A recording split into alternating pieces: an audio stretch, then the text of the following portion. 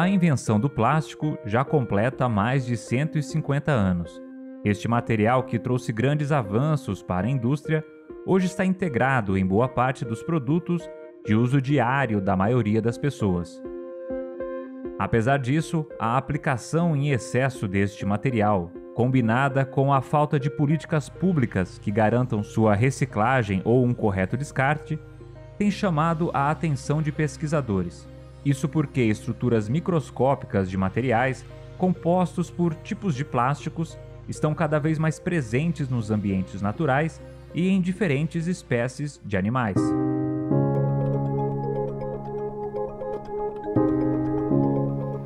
Na Universidade Federal do Paraná, pesquisadores do Centro de Estudos do Mar têm se dedicado a entender os impactos deste preocupante poluente, o microplástico. Os microplásticos eles são partículas feitas de plástico de um tamanho específico, então que tem de 5 milímetros a 1 micrômetro. Então, para fazer uma comparação, a gente pode pensar em, no tamanho de um grão de arroz até, se a gente considerar a espessura do fio de cabelo, 100 vezes menor do que a espessura do fio de cabelo. Então a gente está nesse range de tamanho.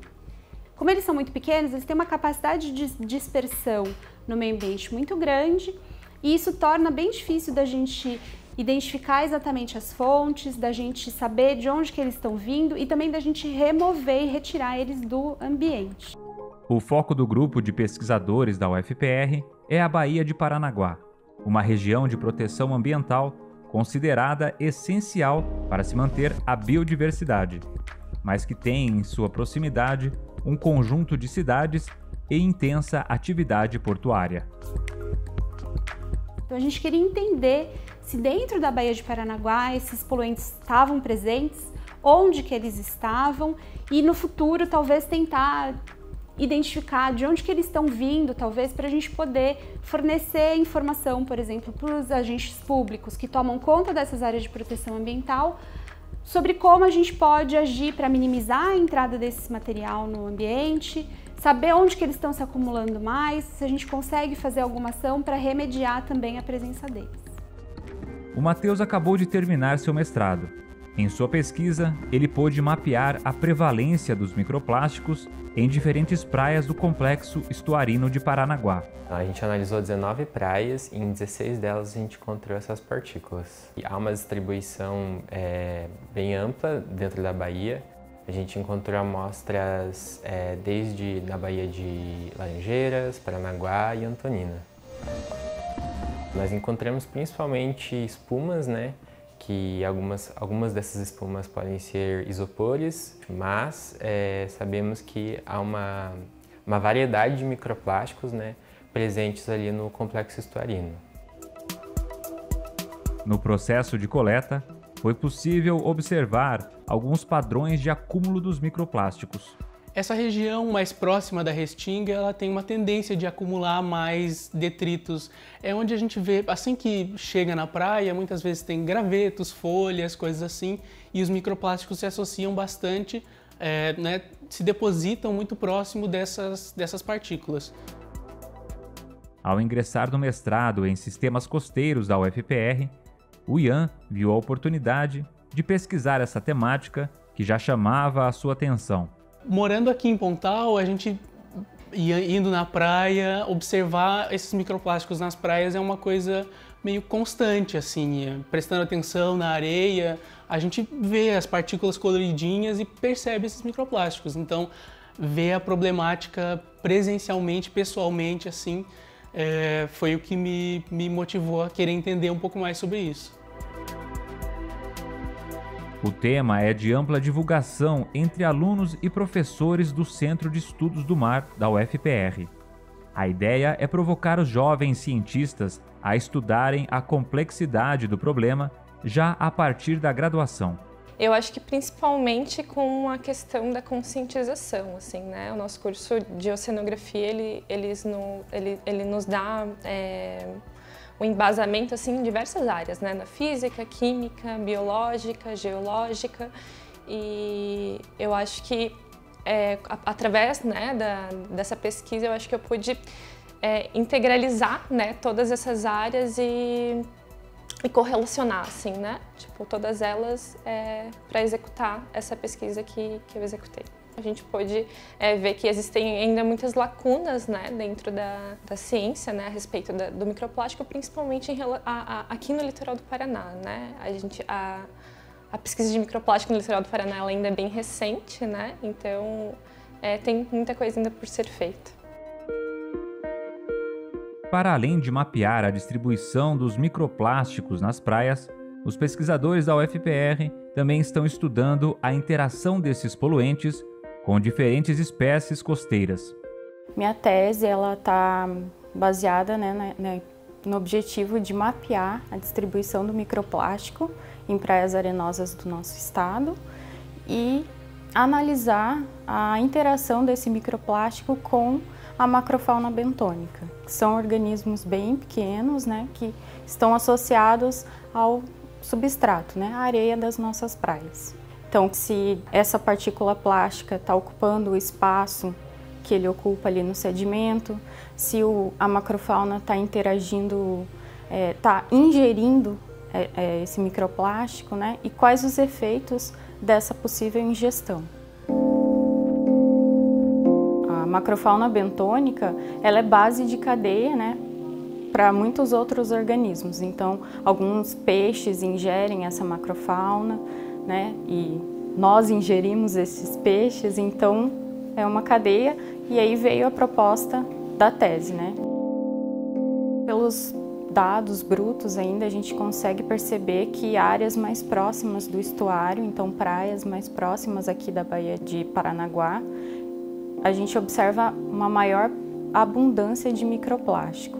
E em relação às espécies, são alguns poliquetas, como Tracophelia furcífera, uh, um, alguns crustáceos, como a Cirolana armata, Tolosodium rhombofrontalis, o Maria Farinha, o Cipode quadrata também. Outra pesquisa tem observado a interação das ostras com as partículas de microplástico. Essas espécies que não têm movimentação acabam funcionando como bioindicadores da presença dos microplásticos no ambiente em que estão fixadas.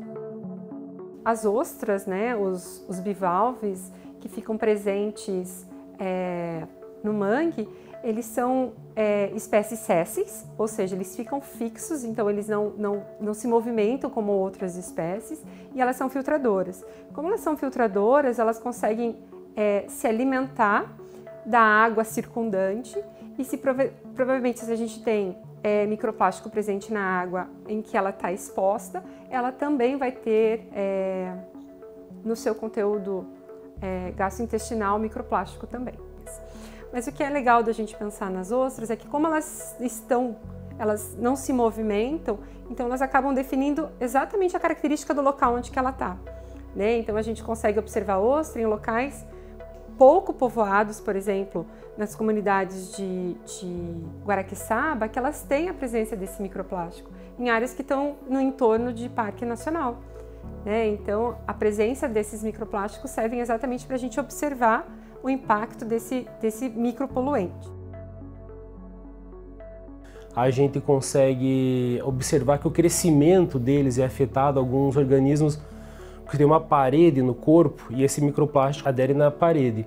Como é uma partícula estranha, o animal vai tentar criar uma, uma, um tecido para isolar essa partícula plástica. Quando ele começa a gastar energia para isolar essa partícula plástica dentro dele, ele está deixando de usar esse, essa energia para crescer, para reproduzir, para fazer as coisas que ele deveria fazer numa situação normal, né?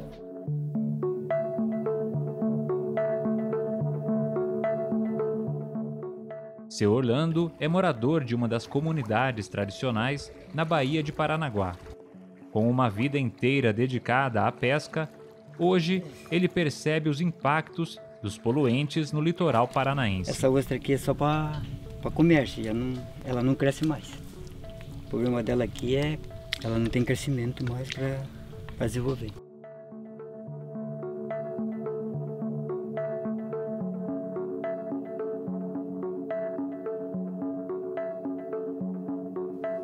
É o manguezal onde está os caranguejos, onde o peixe vai. O manguezal tem que se limpo. Se você vai aí com a maré cheia, o peixe está tudo dentro do mangue. Que é lá que é o polo dele desovar. Aí se não tem, né? se deixar lixo daí, bom, é, vai destruir tudo, vai acabar tudo.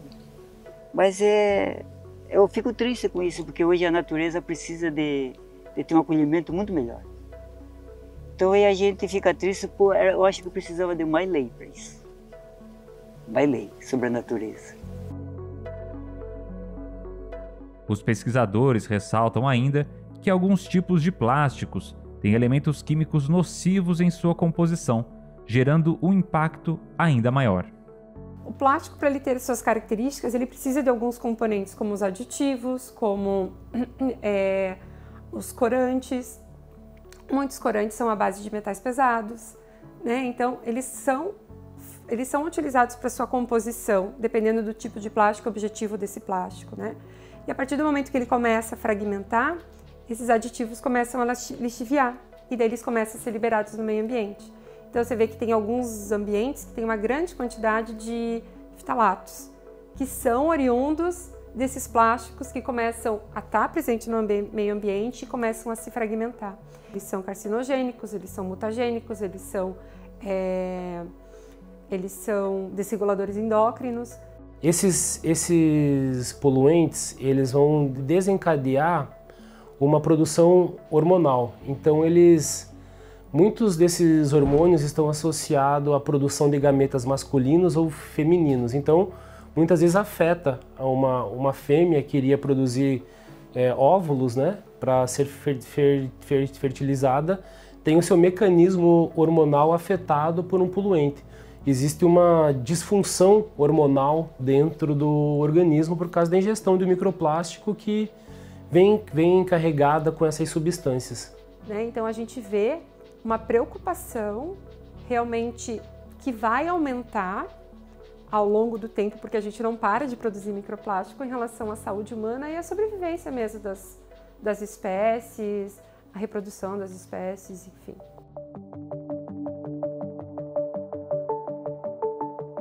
Além desses aditivos usados nos plásticos, que já se configuram como preocupantes poluentes, a própria estrutura física e química dos microplásticos tornam eles especialmente perigosos, pois acabam atraindo e acumulando outros poluentes já presentes nos oceanos. Como os microplásticos, eles, enquanto eles estão no, no oceano, eles também estão sofrendo o processo de degradação, eles vão ganhando uma rugosidade na, na, na, superfície e isso ajuda eles a absorverem ou a ficar grudado na superfície deles esses outros poluentes, principalmente poluentes orgânicos, porque tem uma característica de serem apolares, então eles têm maior afinidade a se grudar no plástico. E aí esses plásticos, eles têm, esses microplásticos, eles têm como se fosse uma capinha em volta neles, cheia de poluentes. Então, às vezes um poluente que está no ambiente já, mas uma concentração baixa, quando o organismo ingere aquilo, aquele microplástico cheio de poluente, ele está ingerindo uma concentração maior do que o que está no ambiente, então ele está se expondo mais ainda a esses poluentes. A poluição por plástico é hoje um problema global, mas o Brasil tem se apresentado como um dos grandes responsáveis. Isso porque o país é o quarto maior produtor de lixo plástico no mundo. Somente em 2020 foram 13,3 milhões de toneladas de plástico descartados. Enquanto a reciclagem desses materiais não passa de 1,3%. Antigamente era um, parecia um problema só visual, quando a gente viu os lixos grandes, né? Ah, não, tem lixo aqui, tem lixo ali. A gente consegue ver quando uma, quando uma ave ingere um plástico grande, quando um, um, uma tartaruga ingere, é morta sufocada. E agora o problema é quando a gente começou a observar essa escala menor, a gente começa a ver que esse é o mesmo problema para animais muito pequenos.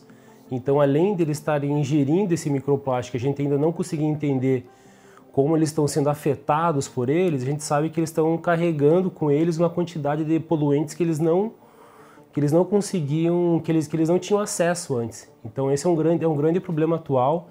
E isso a gente tem em quase todas as praias do mundo, né? A gente sabe que os oceanos, o fundo, o fundo do mar, as, as praias estão completamente tomadas de microplástico, né? Algumas e o que é interessante é que algumas regiões parece que acumulam mais que outras, né? Alguns animais têm uma, uma propensão a ingerir esse, esse microplástico maior que outros animais. Ele se sente atraído às vezes por cor, por tamanho.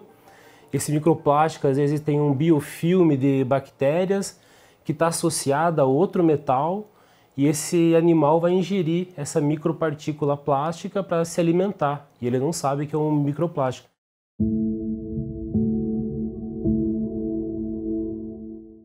Um cenário tão preocupante, surge a pergunta: qual seria o caminho para enfrentar este crescente problema? O plástico deveria ser banido como matéria-prima? que a gente não consegue acabar com o plástico, a gente não deve acabar com o plástico. Né? Acho que o plástico foi um advento muito importante para o ser humano, para a nossa evolução como sociedade. A gente tem necessidade de itens descartáveis. Então, se a gente pensar na área da saúde, é fundamental ter esses itens de plástico que são descartáveis. Né? É, e a indústria usa plástico.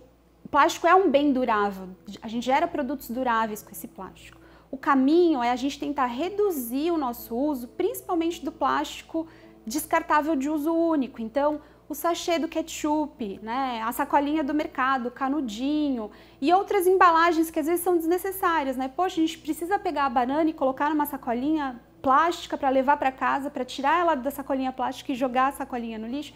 Tem que a gente precisa repensar esse uso.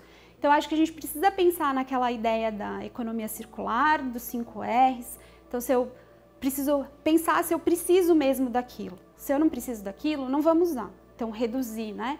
É, se eu tiver que usar aquilo de qualquer jeito, então vamos usar pouco, né? E se eu for usar, mesmo que seja pouco, vamos dar um destino adequado para esse, esse resíduo.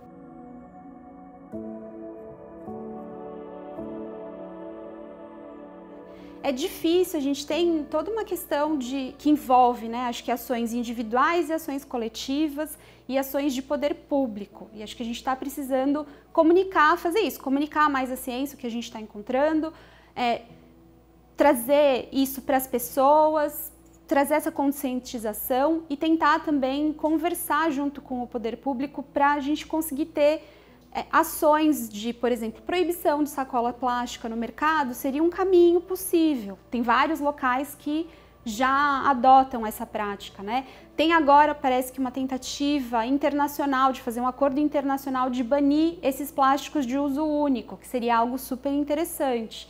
Mas é lógico que é uma mudança de estilo de vida e de forma de comportamento cultural e da sociedade que vai levar tempo, não vai ser imediato. Acho que não é, a gente também não tem, não tem essa expectativa de que vamos banir o plástico e amanhã a gente acabou com o plástico, com o problema. E aí também tem esse outro problema, que como o plástico ele é durável, mesmo que a gente pare hoje de aportar ele para o ambiente, o que está no ambiente ainda vai ficar lá por muito tempo.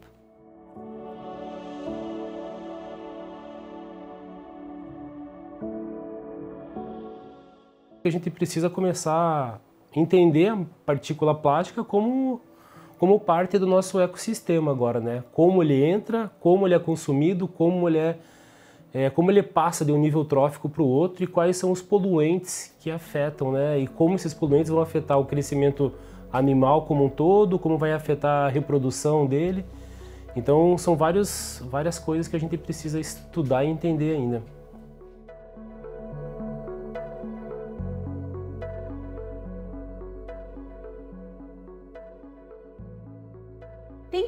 Tá preocupado, mas tem que agir. Porque se a gente fica com essa preocupação e com esse medo que paralisa a gente, a mudança não vai vir nem a longo prazo. Então acho que é, é isso. É preocupante, o cenário é preocupante, é preocupante de fato. A gente tem muita preocupação, tem uma estimativa de que em alguns anos a gente vai ter mais plástico no oceano do que peixe. Super preocupante. Mas a gente vai precisar, precisa começar e precisa agir agora com esperança de que a gente lá na frente vai colher frutos. Talvez não a nossa, não a minha geração, né? não a sua geração, mas as gerações futuras.